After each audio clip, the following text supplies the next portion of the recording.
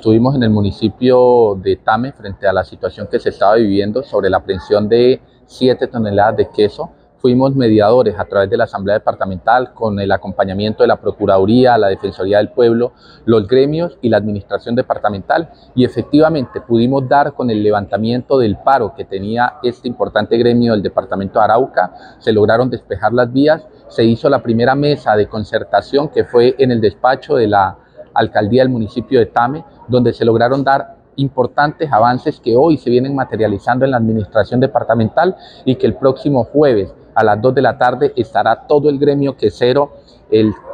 gremio de los ganaderos en la asamblea departamental exponiendo la situación y las, las administraciones y las entidades públicas van a estar efectivamente dándole la oferta institucional frente a este gremio. Se busca como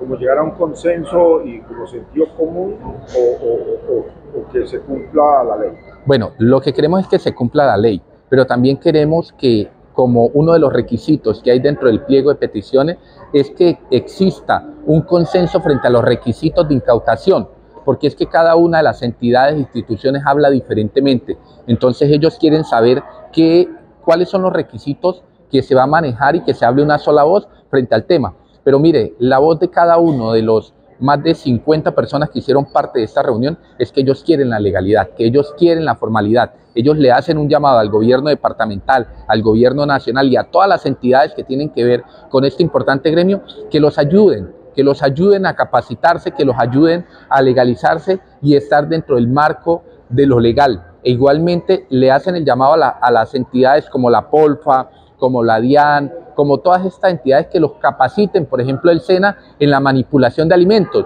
porque la bacteria que se encontró dentro del queso, dentro de la prueba del queso, no fue una bacteria producto del queso, fue una bacteria producto de la manipulación del queso, de la envoltura del queso, bacteria que nos explicaban los expertos que está ubicada en las fosas nasales de las personas, del ser humano. Entonces, nada tiene que ver con el tema del queso pero si capacitamos y educamos a los productores frente al tema de la manipulación de alimentos, creo que nos vamos a evitar muchos dolores de cabeza futuro. ¿Y el día jueves es un debate como de control político